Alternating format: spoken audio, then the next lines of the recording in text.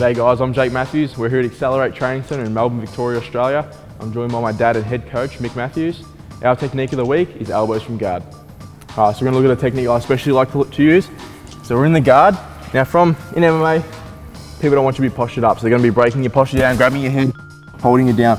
So in close quarters, it's hard to get strikes in, okay? So elbows are good when you're in nice and tight. So we're gonna use our elbows to open up the punches. So they're holding our head down nice and tight. So whichever arm they're holding my head with, I'm gonna bring my same side arm, I'm gonna grab the wrist. So when you grab the wrist, we're gonna be pulling it off. So you need to grab with a thumb grip. So we can't be grabbing monkey grip. So they're holding, so thumb full grip on the wrist. And now here, I'm not trying to lift his wrist off my head, or I'm not trying to just push and force my head up. So what I'm gonna do, I'm gonna grab the wrist, I'm gonna slide my head down. As I slide my head down, I'm gonna slide his wrist up off my head. So slide down, slide it up, and I'm gonna pin the hand to his chest. So we'll do that again.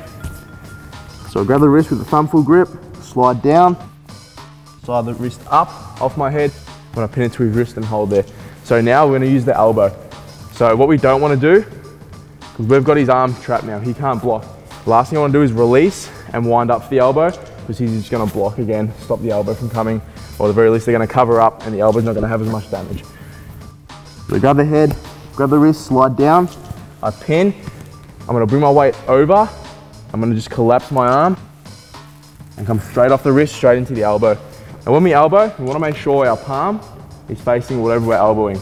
So I want my palm facing my opponent and that's gonna expose the blade of my elbow.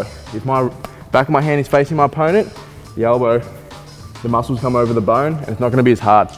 So once I drop and collapse my weight, the hand faces my opponent and I bring all my weight down. So one more time, grab the wrist, slide my head down, pin to the chest.